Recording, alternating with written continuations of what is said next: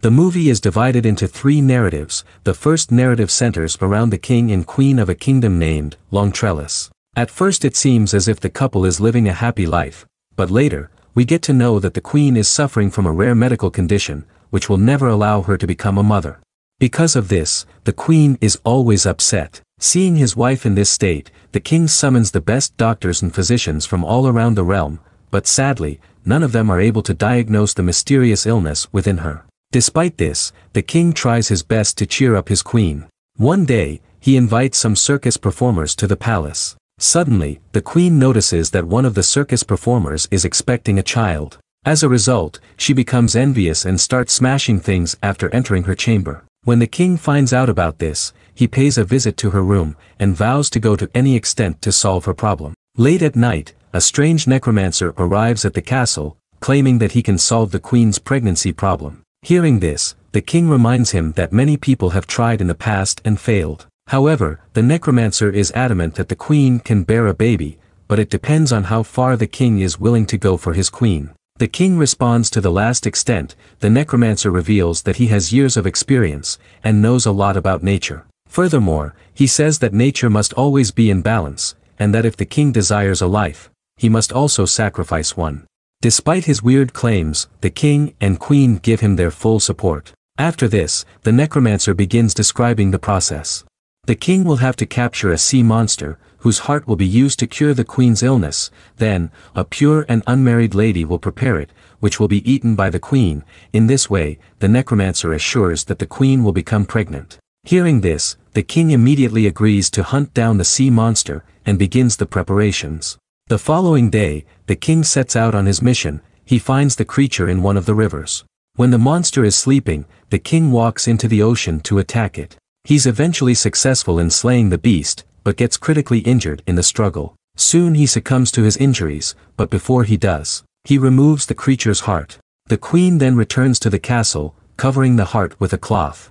Later, a maid at the castle is found to be unmarried and pure, as a result, she's tasked with preparing the heart. While cooking, she experiences strange sensations, and suddenly becomes pregnant. Soon, the queen consumes the heart, and finally she becomes pregnant. In the next scene, the maid and the queen give birth to their children at the same time. The boys look to be the same age. The queen's son is named Elias, whereas the maid's son is named Jonah. The movie then fast forwards to 16 years, where the children have now become adults. The queen is living a happy life with her son Elias, as she thinks that she's been given a second chance at life. However, the two children who were born on the same day, and look like twins, are not typical children, as the sea monster is represented by the white tone of their hair, they have a strong friendship and are extremely close to each other. The queen on the other hand, despises their friendship. She informs her son that as a prince, he's not permitted to be friends with the maid's son, Jonah. Despite this, Elias ignores his mother and continues to meet with Jonah. In the next scene, the queen threatens her maid, that if she doesn't prevent her son from meeting Elias, she and her kid will be expelled from the country. Nonetheless, the two seem unconcerned, and meet on a regular basis, they cross the line one day when Jonah wears Elias's clothing, and goes to the queen. When she discovers the truth, she chooses to exile Jonah from the kingdom. Elias makes an attempt to stop him, but fails, Jonah then cuts off a tree with his knife, and water starts to flow from there.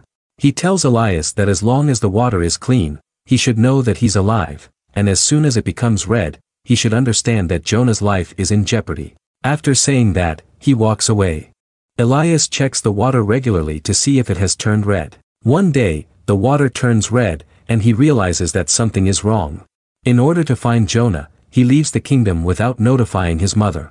After a long search, Elias finally reaches Jonah's house. He discovers that Jonah has married a young woman. The people there identify him as Jonah, since they share the same facial features, then, he learns that Jonah had gone to the forest five days ago, and has not returned since. Elias then goes out in search of Jonah, while the queen grows more concerned about him. Left with no options, she approaches the necromancer again, but he asks the same thing, that if she wants her kid to return, she must make a life sacrifice, the queen immediately accepts this proposal. Elsewhere, Jonah is seen injured inside a cave. A flying creature then strikes, and attempts to kill him.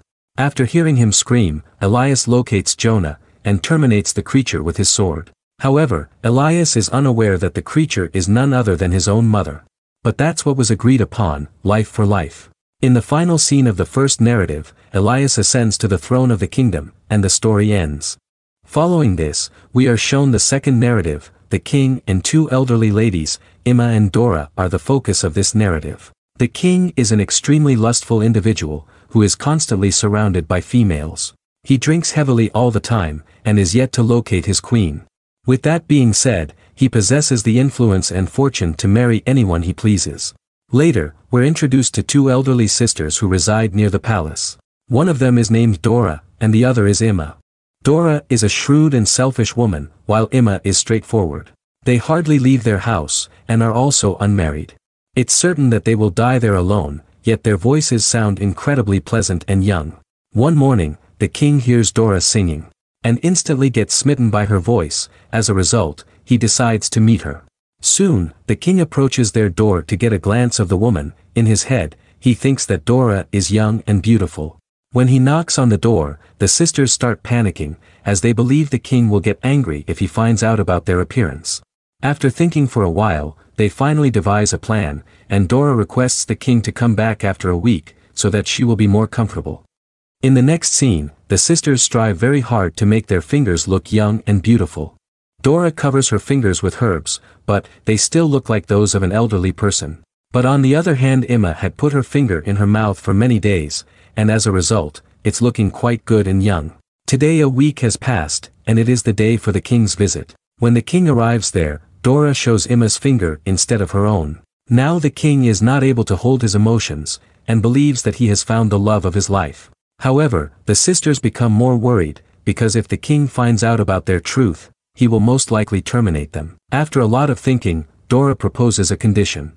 She will sleep with the king, only if there is total darkness. And the king agrees. In the next scene, Emma starts tightening Dora's body with glue, so that it may feel like a young girl's body. At midnight, one of the guards from the temple comes to pick Dora up, while there's darkness in the palace. The king sleeps with Dora, but in the morning, he realizes that he spent the night with an old and ugly lady. Enraged, he orders his guards to throw Dora out of the window, luckily, she survives the fall. In the jungle, Dora witnesses magic as a witch arrives there and finds her. With her powers, the witch changes Dora into a beautiful young lady with long hair. The next day, the king visits the jungle for hunting, and falls in love with young Dora at first sight. He brings her to his castle, and decides to make her the queen. Dora doesn't know how she turned into a young girl, but she remembers her sister Emma. She invites Emma to her wedding, who is still in disbelief about her new appearance. When Emma inquires about how she became young, Dora sarcastically replies that she peeled off her old skin. However, Emma considers it to be true, and visits an ironsmith to peel her old skin in exchange for a necklace. The ironsmith appears to be more stupid than Emma, he takes her to the jungle, ties her against a tree, and removes all her skin. In the next scene, Emma returns to the castle in a fragile state, and she passes away soon. Elsewhere, the magic that turned Dora into a young girl doesn't last long, she starts to grow old as her skin begins to fold. When she realizes that she's turning old, she runs away from the castle. The narrative ends on a sad note, as Dora transforms into her older self completely. Following this, we're shown the third narrative, which is also about a king. The king is of a weird nature as his queen passed away long ago, he has an unmarried daughter named Violet, whom he has never truly loved. One day, the king sees a parasite insect on his hand, which is sucking on his blood. Instead of swatting it away, the strange king just lets it feed on himself. Later, he keeps the parasite in a glass box and allows it to feed on his blood every day. As time passes, the insect becomes huge. On the other hand, Violet who has grown to be a beautiful young woman, always dreams of a prince. However, the irresponsible king could care less about her, as he is always busy with his parasite pet. Unfortunately, one day the parasite becomes ill and dies. This devastates the king, so he peels its skin off and tells his daughter that the time has come to find a husband for her. He says that he's going to arrange a competition, and the one who wins it will get to marry her. On hearing this, Violet becomes happy, but also a little upset as she wanted to find a husband on her own. Despite this, she agrees to the king's decision. Soon, announcements about the competition are made throughout the kingdom. The king displays the parasite's skin in his palace, and announces that whoever can guess the name of the insect will win. Many people try but no one can answer correctly, because that insect has never grown that big and old. Just then, a weird-looking ogre appears in the palace. He also wants to participate in the competition, and the king hesitantly allows him. The ogre then smells the skin, and guesses the correct answer. Upon hearing this, a devastated Violet runs away to the roof, and attempts to terminate herself. However, the king calms her down by saying that he cannot break his promise. Left with no other choice, Violet finally agrees. In the next scene, the ogre takes Violet far in the mountains, where she cries for many days.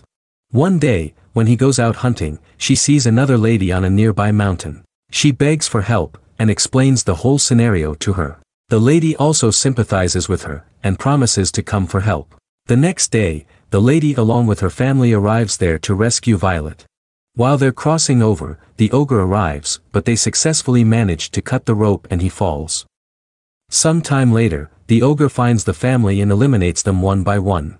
He then chases Violet into a cave, and begins hugging her, Violet also pretends to care, but the moment he's distracted she finishes him off with a knife.